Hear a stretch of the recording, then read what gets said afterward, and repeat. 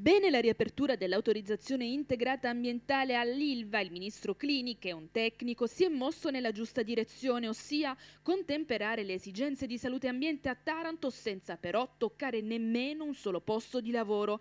E il commento del sindaco di Taranto Ezio Stefano alla mossa del ministro dell'ambiente che, a meno di un anno dal rilascio da parte della commissione PPC del Dicastero presieduto allora da Stefania Presti Giacomo, ha riaperto le procedure di autorizzazione integrata ambientale all'ILVA. Vorrei partire da un concetto fondamentale. Il ministro Clini è un tecnico che ben sa giudicare la situazione ambientale, ben sa giudicare le malattie professionali e le conseguenze sulla salute dei cittadini. E la nota positiva è questa perfetta sintonia fra ministro, presidente della regione, provincia e comune di Taranto, nella difesa assoluta e chiara dell'ambiente, della ehm, salute in fabbrica e nella salute dei cittadini e nella eh, produttività, cioè nella difesa dei lavoratori, del numero dei lavoratori.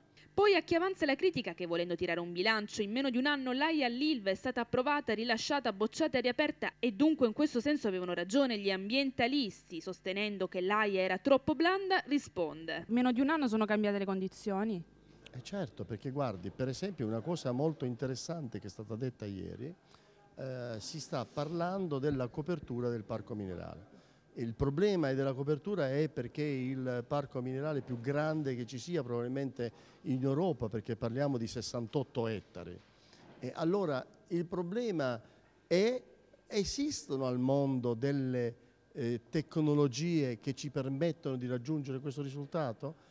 E adesso non siamo soltanto, voglio dire, non è soltanto la grande industria che deve occuparsi di questo, ma è il governo italiano che si sta occupando per vedere se al mondo è possibile andare a vedere se ci sono dei metodi in grado di poter garantire questo. Infine sulla decisione di non revocare l'ordinanza antiveleni. Non è una ordinanza capotica, ma è un'ordinanza che chiede di anticipare quei provvedimenti che servono a tutelare l'ambiente, quindi non ci sono motivi per poterla ritirare.